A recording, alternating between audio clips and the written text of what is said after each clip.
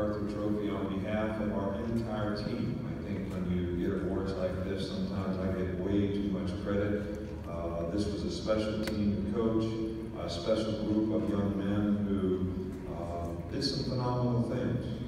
Uh, lost early in the season. Uh, a lot of people sort of counted them out. Uh, they went through 12 straight elimination games that would have put them out of what they had set out to accomplish for the season. And did it probably in a more difficult fashion than any team that's won a national championship uh, in the history of the BCS and college football playoff. In that we played and beat nine teams in the top 20, and 13 of the 15 teams that we played went to bowl games, and the Division two team went to the playoffs, and the Division one A team went to the playoffs in their division. Uh, so we actually accomplished this playing one of the most schedules. And I think that the character of this team was so special. The leadership that we had on this team uh, was very special.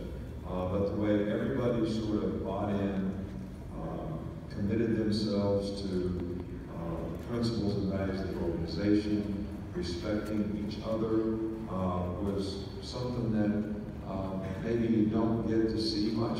Uh, we don't get to participate and this was probably the most fun team that we've ever had the opportunity to be around The coach. Our coaching staff did a great job with them. Um, but this group I'll always remember. And we said that when we played the national championship game, uh, what I said to them before the game was, look guys, this is a 60-10 game. You have 60 minutes to play, and then there'll be 10 minutes after the game where you're either going to celebrate and remember that celebration for the rest of your life, or you're going to be very disappointed that and think for the rest of your life, what else could I have done to accomplish the goal that we had? So, to share this with the players on our team uh, was truly something special. Uh, the game that we had against Clemson was certainly a special game, uh, probably one of the best games that competitive from a competitive venue standpoint that we've ever had the opportunity to participate in. Um, and to win a game like that gives everyone a tremendous amount of positive self-gratification. So on behalf of every player on our team, every coach, uh, our administration who worked so hard to set the table for us, uh, all the former players like Kerry Goode that's here today who um, made Alabama's tradition what it is blood, sweat, and. And,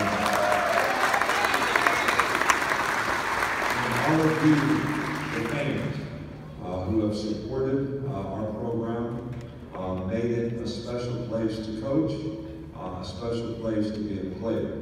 Uh, I can't thank you enough uh, for the way you've supported the program uh, and made the tradition of uh, Alabama football all that it is.